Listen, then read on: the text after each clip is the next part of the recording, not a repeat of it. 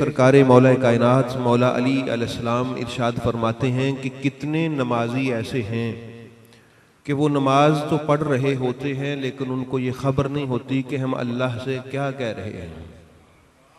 इसलिए हमें इस बात की तरफ़ तवज्जो देनी चाहिए कि हम जब नमाज़ में खड़े हों तो हम अल्लाह के हजूर जो अर्ज़ कर रहे हों, हमें अपनी दरख्वास्त का मफहूम, उसका माना, और हम क्या कह रहे हैं, ये हमें पता हो ताकि वो मुराद हम पा सकें। नमाज़ बंदा मोमन की मेराज है। मेराज इसलिए कहते हैं कि बंदा मोमिन की इंतहा ये है कि वो अल्लाह की बारगाह तक पहुँच जाए। और नमाज़ जो है, ये मुसलमान को साहब ईमान को ये कमाल अता करती है कि उसको खुदा खुदाबंद आलम की बारगाह में ले जाती है। इसलिए हमने पिछले जुम्मतुल मुबारक पे भी सूरह फातिहा के जो आगाज़ के चंद अल्फाज हैं और जो उनकी आयात हैं, अल्हम्दुलिल्लाह रब्बिल आलमीन, यानी अल्लाह का शुक्र अदा करना, उसकी हमद करना। और आप जानते हैं कि शुक्र के लिए एक ही ज़ात है कि जिसका शुक्रिया अदा किया जाए तो वो नेमतों को बढ़ा देता है, वो मेरे खुदा की ज़ात है। और हर तरह की शुक्रगुजारी और हर तरह का, की हम और हर तरह की तारीफ़ खुदा ही इस लायक है कि उसकी की जाए। और अल्हम्दुलिल्लाह रब्बुल आलमीन में ये बात मौजूद है कि हम अगर कायनात में किसी भी चीज़ की तारीफ़ करते हैं तो हकीकत में वो तारीफ़ उस बनाने वाले की है।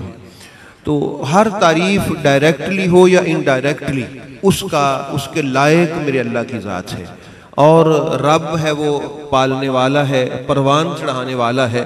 चूँकि बंदा जो है, ये कमाल की तरफ़ जाना और जो है वो बुलंदी की तरफ़ जाना और तरक्की करना हमारे खमीर में है, अगर बंदा सही हो तो।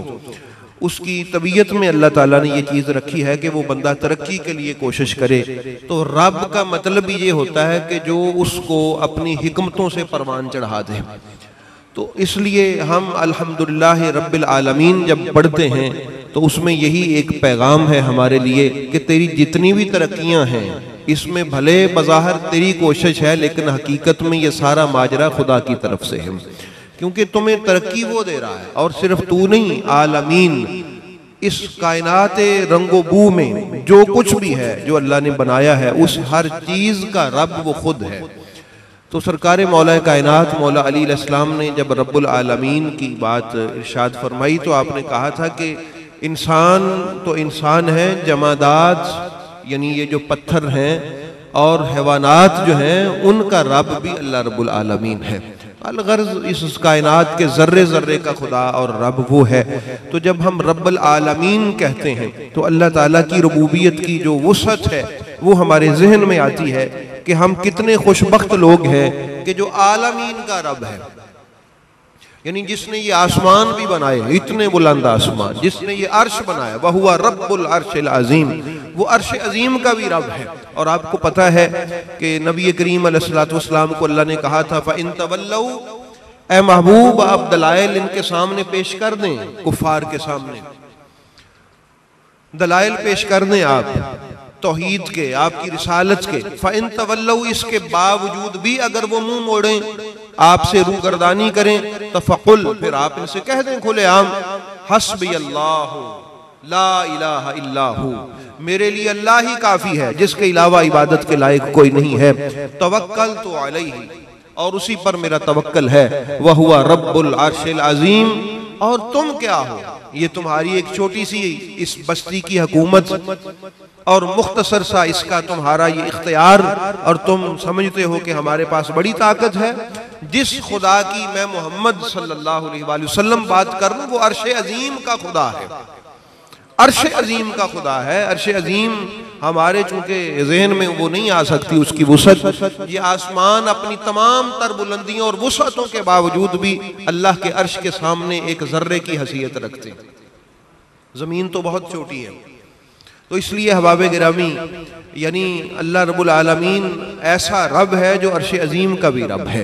तो हम जब रब्बुल आलमीन कह रहे होते हैं तो उसकी रबूबियत की जो बड़ाई है और उसकी रबूबियत की जो वसत है और उसकी रबूबियत का जो गलबा है, गोया हम वो अल्लाह रब्बुल आलमीन की बारगाह में अर्ज़ कर रहे होते हैं। तो रहमान रहीम का भी अर्ज़ किया था कि वो अपनों पर भी रहम करता है। वो परायों पर भी रहम करता है, क्योंकि कुरान करीम में है, सूरह बनी इसराइल में है गालबन, कि कुल्लन उलाई हम इनकी भी मदद करते हैं, हम उनकी भी मदद करते हैं। या अल्लाह किन किन की फरमाया दुनिया मांगने वालों की भी और आखिरत मांगने वालों की भी। हर किसी पर हम रहमत करते हैं। जो जिस फ़ील्ड में अपनी कोशिश करता है और मुझसे मदद माँगता है, वो मुझे माने तो तब भी उसकी मदद करता हूँ। वो मुझे ना माने तो तब भी उसकी मदद करता हूँ, क्योंकि मैं रहमान हूँ। आपसे कल भी, अब पिछले जुमे भी अर्ज़ किया क्योंकि अल्लाह पाक फरमाता मैं क्या हूँ? रहमान हूँ। तो रहमान जो होता है, उसकी ये शान है कि कुल अल्लाह पाक फरमाता इनकी भी और उनकी भी, दीन चाहने वालों की भी, आखिरत चाहने वालों की भी, और सिर्फ़ दुनिया चाहने वालों की भी। फरमाता जो जो चाहता है, मैं उसकी मदद करता हूँ। तो ये रहमान है और रहीम क्या है? फरमा रहीम ये है कि अल्लाह रब्बुल आलमीन क़यामत वाले दिन जब ईमान वालों पर खास रहमत की तजल्ली फरमाएगा, वो सिर्फ़ ईमान वालों का हिस्सा होगी और कुफार उसको देख के जहनम में तो जल नहीं है।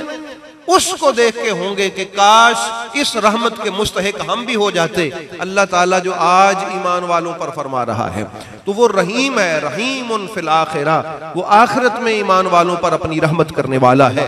इसलिए हबाब गिरामी कुल्ला रहमान है, रहीम है, मालिकी यौमुद्दीन है। क्यामत के दिन का, जजा सजा के दिन का मालिक है।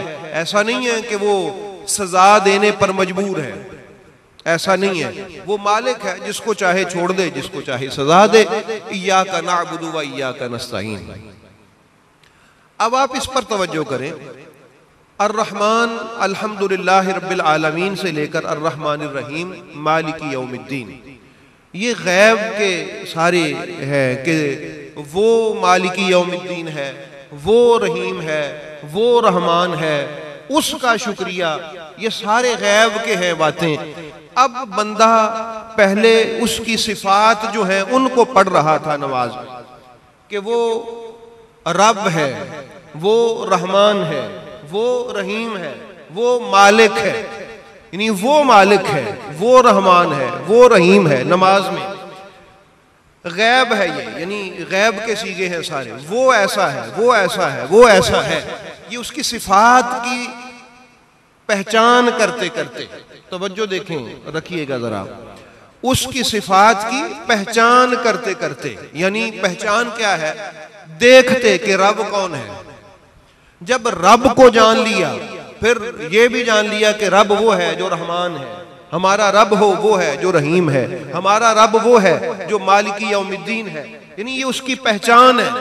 जब बंदा ये सफ़र तय करते करते उसकी सिफात की मार्फत का एक ऐसी मंजिल पे आ जाता है कि अब वो गैब वाले इलाके से निकल के कहता है ईया का अब डायरेक्ट खिताब होता है उसका।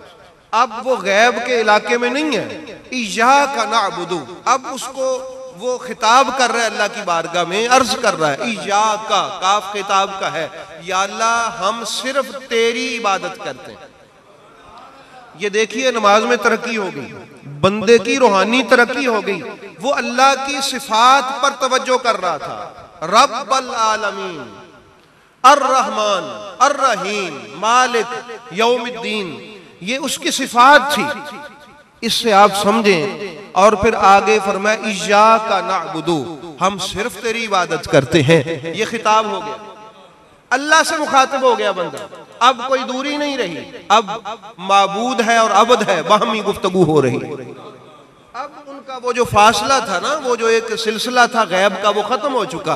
इससे समझिए, सूरह फातिहा में इस बात की तरफ़ नमाजियों के लिए इशारा कर दिया गया, अगर तुम कुर्बत की मंजिलों तक आना चाहते हो, वो से तू तक आना चाहते हो।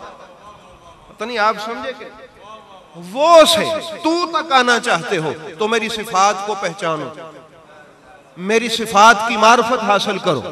मेरी जो सिफात है, मेरे जो असमा है, उनको पहचानने की कोशिश करो और ये पता लगाओ, ये खोज लगाओ कि जो हमारा रब है, उसकी शान क्या जो हमारा रब है, वो रहमान क्यों है? जो हमारा रब है, वो रहीम क्यों है? हमारा रब क्यामत के दिन का मालिक किस शान से है? ये सारी चीज़ें जब तुम खोज लगा लोगे ना तो फिर मुझे तरस आएगा तुम पर। फिर मेरी रहमत तुम पर तवज्जो करेगी कि यार ये बंदा मुझे पहचानने की कोशिश कर रहा है, मेरी सिफात को जानने की कोशिश कर रहा है। इस पर फिर अल्लाह ताला उससे दूरी का पर्दा हटा के कहता है, अब तू मुझे गैब ना समझ कि वो ऐसा है, मेरा रब वो ऐसा है, मेरा रब वो ऐसा है, वो ऐसा है। अल्लाह पाक फरमाता है, फिर अब तू इस मंजिल पे आ गया है, अब तू मुझे डायरेक्ट बात कर। ईजा का नाबुदू कह के करके सिर्फ़ तेरी इबादत करता हूँ मैं। अब वो जो सिलसिला था, वो खत्म हो चुका। भाई, ये मार्फत की बात है, मैं इसलिए रुका हुआ हूँ यहाँ। मार्फत की बात है ये। समझ आई समझ आई? बंदा कह रहा था, वो रब, वो रहमान, वो रहीम, वो जो है, जो क्यामत के दिन का मालिक है, वो। अल्लाह पाक फरमाता पछाण ले मैंने जब वो कहता है कि मालिक हाँ मैं पहचान गया हूँ, तू रब है। पालने वाला तू है, तरक्की देने वाला तू है, परवान चढ़ाने वाला तू है, मैं तेरा मोहताज ये रब है, और मेरे रिज्क का, मेरी ज़िंदगी का, मेरी मौत का, मेरे सांसों का, मेरे वजूद का, हर चीज़ का मालिक तू है। मैं कुछ भी नहीं अल्लाह मालिकल मुल्क तुतिल मुल्क मन तशा व तंजिल मुल्क मिमन तशा।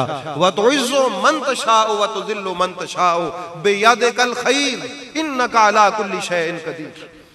वो पढ़ते ना मालिकी यौमिद्दीन तो ये वही है, अल्लाहुम्मा मालिकल मुल्क।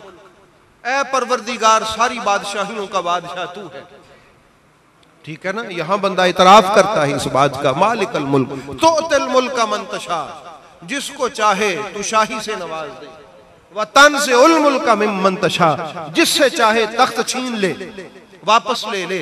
वह तो इज्जो मंतशा हो, इज्जतें तेरी बारगाह में है, जिसको चाहे मुआज कर दे। वह तो जिल्लो मंतशा, और जिसको चाहे इज़्ज़त का ताज उतार कर उसको जलीलो रसवा कर दे। बेयाद कल खैर, हर भलाई तेरे दस्ते कुदरत में है। कदीर। और कायनात की हर चीज़ पर तेरा गलबा कुछ ऐसे है कि हर चीज़ तेरे दस्ते कुदरत में है। तो जब बंदा अल्लाह को यूँ पहचान लेता है, फिर उसको चस आती है दवा करने की। फिर उसको पता चलता है कि मैं किस कादर मुतलिक से महवे गुफ्तगु हूँ। किस ताकतवर और मुक्तदर जात की बारगाह में हाजिर खिदमत हूँ। किस ताकत वाले अपने खुदा की बारगाह में हाथ उठाए हुए हूँ। किसके सामने झोली फैला के बैठा हूँ? जब बंदा किसी को जान लेता है तो उसके मांगने का अंदाज भी खूबसूरत हो जाता है। भाई देखिए ना, एक आदमी है, उसके पास कोई बड़ा ओहदा है, वो कुछ कर सकता है, यानी वो अपने साइन कर दे तो किसी बंदे का काम हो जाए। और एक अनजान आदमी उसके पास आ जाए, उसको पता ही ना हो कि ये कौन है। वो उससे वैसे ही कोई बात ऐसी कहे कि वो जी आप ऐसा करें कि इस दुकान वाले से ना मुझे चीनी ले दें। अल्लाह के बंदे तो इससे वो चीज़ मांगना कि जो कोई और नहीं दे सकता था, इसके पास तो इख्तियार है, ये दे सकता है। अब उसने ये बात क्यों की, उसको पता ही नहीं है ये क्या दे सकता है। अल्लाह पाक फरमाता है, चूँकि मांगना तुमने मुझसे है, देना तुम्हें मैंने है, मुझे पहचानो तो सही कि मैं कौन हूँ? रब होता कौन है?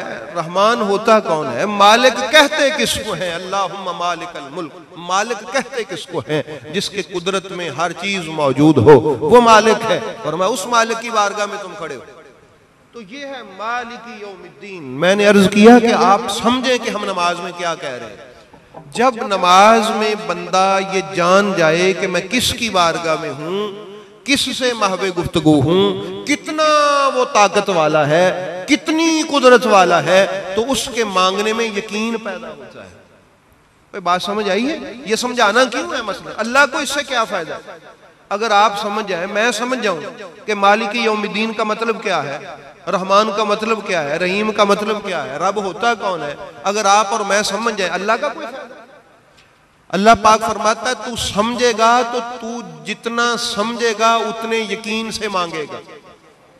और जितने यकीन से मांगेगा उतनी तेरी मुराद की जोली बरता चला जाऊँगा।